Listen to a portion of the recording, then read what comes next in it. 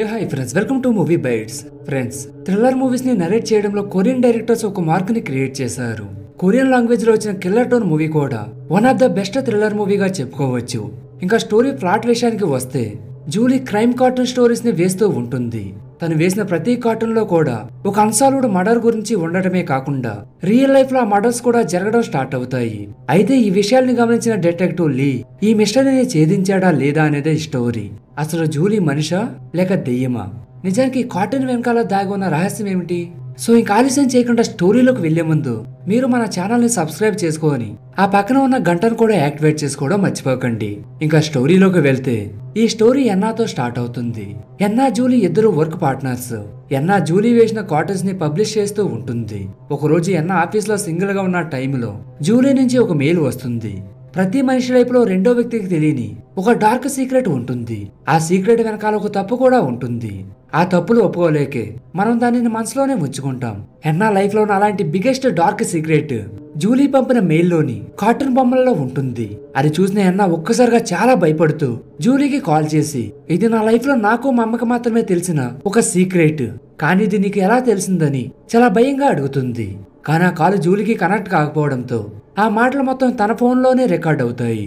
ఇంక హెన్నాకి ఏం చేయాలో తెలియక ఆ కార్టూన్స్ని చూస్తూ ఉంటుంది. అప్పుడే సడన్గా సేమ్ కార్టూన్స్లో ఉన్నట్టుగా ఒక ఆత్మ వచ్చి హెన్నాని చాలా దారుణంగా చంపేస్తుంది. నిజానికి హెన్నా లైఫ్లో ఉన్న డార్క్ సీక్రెట్ ఏంటంటే హెన్నా టీనేజ్ వయసులో ఉన్నప్పుడు తనకు ఒక లవ్ ప్రపోజల్ జరుగుతూ ఉంటుంది. కానీ అదే టైంలో హెన్నా అమ్మ ప్లేస్కి రావడంతో అక్కడ ఉన్న అందరూ తను చూసి భయపడిపోతూ ఉంటారు. ఎందుకంటే హెన్నా అమ్మ చూడడానికి చాలా భయంకరంగా ముఖం మొత్తం గాయాలు ఉంటాయి. సో అందుకే అందరూ తన్ని చూసి మాన్స్టర్ మాన్స్టర్ అని అంటూ ఉంటారు.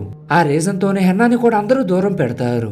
ఆ తర్వాత హెన్నా ఇంటికి వెళ్ళేసరికి హెన్నా అమ్మ జనాలనే మాటలను భరించలేక మానసిక బాధతో చనిపోవాలని చెప్పి డిసైడ్ అవ్వి ఊరు వేసుకుంటూ ఉంటుంది. అప్పుడే అక్కడికి వచ్చిన హెన్నా వెంటనే వెళ్ళి వాళ్ళ అమ్మని కాపాడడానికి ట్రై చేస్తుంది. కానీ అమ్మ పేసు చూడగానే వాళ్ళమ్మ బ్రతికినా తనకి ఎప్పటికీ అవమానాలే అని చనిపో అమ్మ అంటూ కాపాడకుండా వదిలేస్తుంది. అలా హెన్న అమ్మ అక్కడికక్కడే చనిపోతుంది. ఇదే ఎన్నా లైఫ్లో ఉన్న ఒక బిగ్గెస్ట్ డార్క్ సీక్రెట్. ఇంకా నెక్స్ట్ సీన్లో ఎన్నా బాడీ దగ్గరికి పోలీసులు వచ్చి చెక్ చేస్తూ ఉంటారు. ఇక్కడ డిటెక్టివ్ లీ తన టీం ఎంత వెతికినా వారికి చిన్న క్లూ కూడా దొరకదు. సో ఇంకా అది ఒక సూసైడ్గా డిసైడ్ అయిపోతారు. కానీ అక్కడ నుంచి వెళ్ళిపోయే ముందు అనుకోకుండా జూలీ పంపిన కాటన్స్ చూసి ఇదేంటి ఎన్నా ఏ విధంగా చనిపోయిందో? అలానే ఈ కాటన్స్ కూడా వేశారు. నాకు తెలిసి ఇది సూసైడ్ కూడా కాదు. ఇందులో ఇంకేదో రహస్యం ఉందంటూ డిటెక్టివ్ లీ జూలీని కస్టడీలోకి తీసుకుని విచారిస్తారు. నిజానికి జూలీకి ఏం జరిగిందో తెలియదు. తను వేసిన కాటన్స్ రియల్గా జరగడం చూసిన పోలీసులు ఈ అచ్చులు నువ్వే చేసావా అని చెప్పి అడుగుతూ ఉంటారు. దానికి జూలీ కూడా నాకేమీ తెలియదని చెప్పేస్తుంది. నెక్స్ట్ డే జూలీ కార్లో వెళ్తూ ఉండగా తనకి రోడ్డు సైడ్లో ఒంటరిగా నడుస్తూ ఒక పాప కనిపిస్తుంది. కొంచెం దూరం వెళ్ళగానే సడన్గా ఆ పాప మళ్ళీ కారుకి అడ్డంగా కనిపిస్తుంది. అప్పటికే కారులో స్పీడ్గా స్పీడ్గా వెళ్తున్న జూలీ ఆ పాపను గుద్దుకుంటూ వెళ్ళిపోతుంది. ఆ తర్వాత సడన్గా షాక్ అవ్వి జూలీ వెంటనే కారు దిగి ఆ చుట్టూ చూస్తూ ఉంటుంది. బట్ అక్కడ ఎవరూ ఉండరు. అది చూసిన జూలీకి ఏం అర్థం కాక తెగ భయపడిపోతూ ఉంటుంది. ఎంతలో ఆ పాప మళ్ళీ కనపడి మా ఇంటి వరకు నన్ను తీసుకెళ్వా అంటూ లిఫ్ట్ అడుగుతుంది. జూలీ కూడా ఓకే అంటూ లిఫ్ట్ ఇస్తుంది. ఆ పాప చూడడానికి చాలా క్యూట్గా ఉండడంతో జూలియా పాపతో మాట్లాడుతూ నీ ఏజ్ ఎంత? అని చెప్పి అడుగుతుంది. దానికి ఆ పాప సిక్స్టీన్ అని చెప్పి చెబుతుంది. వెంటనే జూలీ అబద్ధం చెప్పకంటూ నీ ఏజ్ పది కన్నా ఎక్కువ ఉండదని చెప్పి అంటుంది. అప్పుడు ఆ పాప అవును నేను చనిపోయినప్పుడు నా ఏజ్ పది అని చెప్పి అంటుంది. దాంతో షాక్ అయిన జూలీ కార్ ఆపే లోపు ఆ పాప మాయమైపోయి హెల్ప్ మీ హెల్ప్ మీ అని చెప్పి అరుస్తూ ఉంటుంది. ఆ పాప కనిపించకుండా వాయిస్ మాత్రమే వినిపించడంతో జూలీ భయపడిపోతూ ఇంటికి వచ్చేస్తుంది. ఇంకప్పటి నుంచి జూలీకి ఆత్మలు కనపడుతూ ఉంటాయి. నెక్స్ట్ సీన్లో పోస్ట్ మార్టం చేసే డేవిడ్ అనే ఒక వ్యక్తి తన డ్యూటీ మీద హాస్పిటల్కి వెళ్తాడు. అతను అప్పటికే ఫుల్గా డ్రింక్ చేసి ఉంటాడు. పోస్ట్ మార్టం చేయబోయే బాడీ బాగా కాలిపోయి చాలా భయంకరంగా ఉంటుంది. అది దానికి అదే పొజిషన్ చేంజ్ చేసుకుంటూ ఉంటుంది. అది చూసిన డేవిడ్ భయపడతాడు కానీ ఇదంతా డ్రింకింగ్ ఎఫెక్ట్ ఏమో అని చెప్పి అనుకుంటాడు. డేవిడ్ పోస్ట్ మార్టం స్టార్ట్ చేసే ముందు తన ఫ్రెండ్ ట్యాబ్లో సాంగ్స్ విందామని చెప్పి ట్యాబ్ని ఆన్ చేస్తాడు. కానీ అందులో అప్పటికే కొన్ని కాటన్స్ ఉంటాయి. అవి తను ప్రజెంట్ చేస్తున్న work pictures same to same ఉండడంతో పాటుగా తన లైఫ్లో ఉన్న ఒక డార్క్ సీక్రెట్ గురించి కూడా ఆ కాటన్స్లో ఉంటుంది. అది చూసిన డేవిడ్ ఒక్కసారిగా షాక్ అయిపోతాడు. నిజానికి డేవిడ్ లైఫ్లో నా డార్క్ సీక్రెట్ ఏంటంటే డేవిడ్ వైపుకి హెల్త్ ప్రాబ్లం వల్ల కాళ్ళు చేతులు పడిపోతాయి. దానివల్ల డేవిడ్ పది సంవత్సరాల నుంచి అదొక టార్చర్ లాగా ఫీల్ అవుతూ ఉంటాడు. ఒక రోజు డేవిడ్ భార్య కర్లకుండా ఉండిపోతుంది. దాంతో తాను చనిపోయిందేమో అని చెప్పి అనుకోని పోస్ట్ మార్టం చేయడానికి ఒక రూమ్లోకి తీసుకెళ్తాడు. కానీ సడన్గా ఆమె మళ్ళీ కర్లడం స్టార్ట్ చేస్తుంది. అది చూసిన డేవిడ్ ఆమె బ్రతుకుందని తెలిసినా కావాలని ఆమె చంపేస్తాడు. అదే కాటన్స్లో ఉన్న డేవిడ్ యొక్క డార్క్ సీక్రెట్. ఇదే టైంలో జూలీ కూడా తన కాటన్స్ని చూసి నెక్స్ట్ హత్య జరగబోయే ప్లేస్ని కనిపెట్టి డేవిడ్ని కాపాడడానికి వెళ్తూ ఉంటుంది. మరోవైపు డిటెక్టివ్ లీ ఇంకా తన అసిస్టెంట్ జీన్ లైవ్ న్యూస్ని చూస్తూ ఉంటారు. ఆ న్యూస్లో కరెంట్ షాక్ వల్ల ఒక వ్యక్తి బాగా కాలిపోయాడని చెప్పి న్యూస్లో వస్తూ ఉంటుంది. ఇక్కడ జిన్ జూలీ కాటన్స్ని బాగా ఫాలో అవుతూ ఉంటాడు. సో ఆ న్యూస్ని చూడగానే ఇది నేను జూలీ కాటన్స్లో చూశానని చెప్పి లీకి చెబుతాడు. అది విన్న లీ వెంటనే కాటన్స్లో జరిగిన నెస్టాచిని ఆపాలని డేవిడ్ హాస్పిటల్కి వెళ్తారు. ఈ లోపు పోస్ట్ మార్టం రూమ్ లాక్ అయిపోతుంది. అండ్ అక్కడ సిచ్యువేషన్ మొత్తం కూడా చాలా భయంకరంగా మారిపోయి ఎవరో కనపడకుండా డేవిడ్ని కొడుతూ ఉంటారు.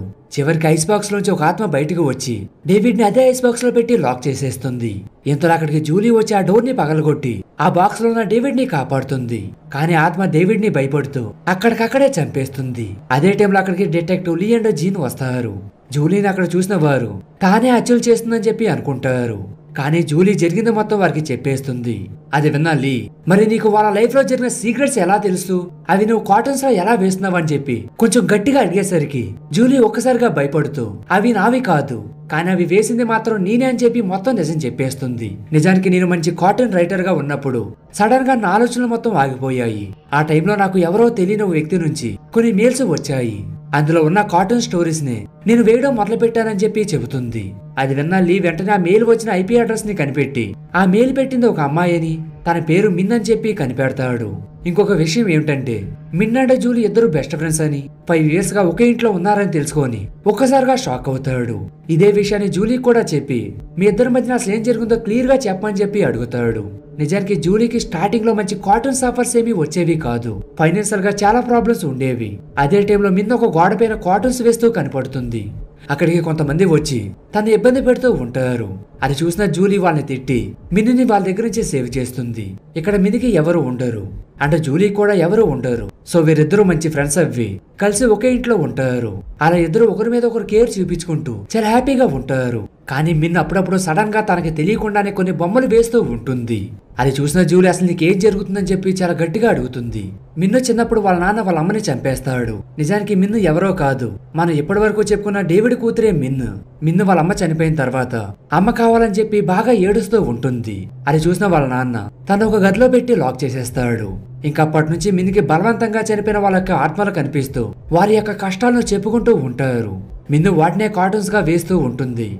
నిజానికి స్పెషల్ లక్షణం మిన్నుకి. వాళ్ళ అమ్మ దగ్గర నుంచే వస్తుంది. ఇంకా అప్పటి నుంచి మిన్ను అలా కార్టూన్స్ వేస్తూ ఉంటుంది. ఒక రోజు మిన్ను గోడ మీద వేసిన కాటన్స్లో ఉన్నట్టుగానే ఒక మడాలు జరుగుతుంది.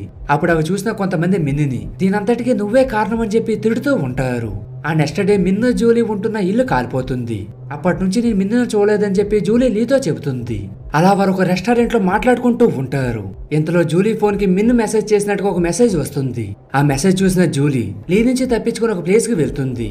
ఈ విషయాన్ని లీ జీన్తో చెప్పగానే జీన్ అవునా? రెస్టారెంట్ నుంచి పారిపోయిందా అని చెప్పి అంటాడు. యాక్చువల్గా రెస్టారెంట్ నుంచి అనే విషయాన్ని లీ జీన్కి చెప్పకుండానే జీన్ రెస్టారెంట్ నుంచి పారిపోయిందా అని చెప్పి అంటాడు. అది విన్నా లీ నేను చెప్పకుండానే జీన్కి రెస్టారెంట్ గురించి ఎలా తెలిసిందా అని జీన్ లొకేషన్ ట్రాక్ చేసి తనని ఫాలో అవుతూ వెళ్తాడు. ఇంతలో జీన్ ఫేక్ మెసేజ్ చేసి జూలీని కిడ్నాప్ చేస్తాడు. ఇక్కడే మనకి ఇంకొక ట్విస్ట్ కూడా రివీల్ అవుతుంది. అదేంటంటే జీన్ ఒక రోజు కార్లో వెళ్తూ ఉండగా ప్రెగ్నెంట్ అయిన తన వైఫ్తో మాట్లాడుతూ చూసుకోకుండా ఒక పాపని గుద్దేస్తాడు. దాంతో ఆ పాప కార్ కింద ఇరుక్కుపోయి హెల్ప్ మీ హెల్ప్ మీ అని చెప్పి జీన్ని అడుగుతుంది. కానీ ఈ విషయం బయటికి వస్తే తన జాబు ఇంకా తన ప్రెగ్నెంట్ వైఫ్ ఇబ్బంది పడుతుందని చెప్పి రోడ్డు మీద ఆ పాపను వదిలేసి వెళ్ళిపోతాడు. కానీ ఆ తర్వాత ఆ పాపని చాలా ట్రక్స్ అండ్ కార్స్ తొక్కుకుంటూ వెళ్ళిపోతాయి. అలా తను అక్కడికక్కడే చనిపోతుంది. ఈ పాప ఎవరో కాదు. మూవీ స్టార్టింగ్లో జూలీ కార్లో కనిపించిన అమ్మాయి ఈ పాప. ఈ విషయాలు బయటికి తెలియకూడదని జీని జూలీని చంపాలని చెప్పి అనుకుంటాడు. కానీ ఈ లోపు ఆ పాప ఆత్మ జీని చంపేస్తుంది. ఇదంతా లీ కల్లారా చూస్తాడు. అండ్ ఈ అచ్చులు చేసింది జూలీ కాదని దియ్యాలని చెప్పి నమ్ముతాడు. తర్వాత ఇంటికి వెళ్ళిన జూలీకి మళ్ళీ ఇంకొక మెయిల్ వస్తుంది. ఆ మెయిల్లో జూలీకి సంబంధించిన ఒక డార్క్ సీక్రెట్ ఉంటుంది.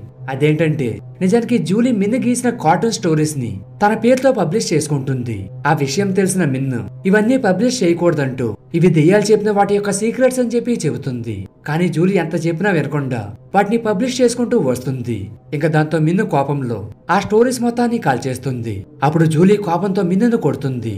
ఆ దెబ్బ గట్టిగా తగలడంతో మిన్ను ఒక్కసారిగా పడిపోతుంది. కానీ ఆ టైంలో మిన్ను జూలీని పట్టించుకోకుండా ఈ స్టోరీస్ మంచిగా పాపులర్ అవుతాయని ఇవి అమ్మి మనం హ్యాపీగా ఉండొచ్చని చెప్పి జూలీ మిన్కి చెప్పడానికి ట్రై చేస్తుంది. కానీ లోపే మిన్ అక్కడికక్కడే చనిపోతుంది. అప్పటి నుంచి జూలీకి కూడా మిన్నుకున్న సూపర్ పవర్స్ వస్తాయి.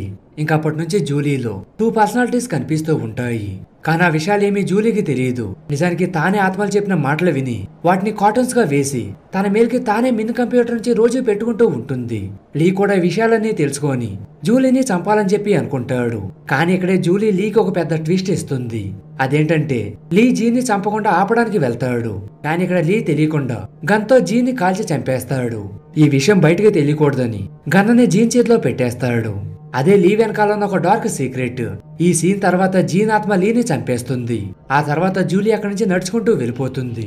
నిజానికి జీన్ చనిపోయినప్పుడు ఏమవుతుందంటే లీలో ఒక చిన్నపాప ఆత్మ వచ్చి జీన్ని చంపేస్తుంది. అందుకే జీన్ మళ్ళీ తిరిగి వచ్చి లీని చంపేస్తాడు.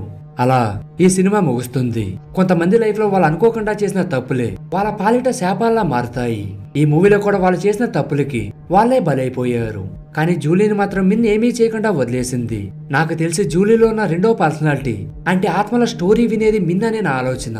మరి మీరేమనుకుంటున్నారు? మన కామెంట్ సెక్షన్లో తెలియచేయండి. అలానే ఈ వీడియో కూడా మీకు నచ్చినట్లయితే లైక్ లేదా కామెంట్స్ రూపంలో నాకు చెప్పడమే కాకుండా మీ ఫ్రెండ్స్ కూడా షేర్ చేయడం మర్చిపోకండి. Thank you. జై హింద్.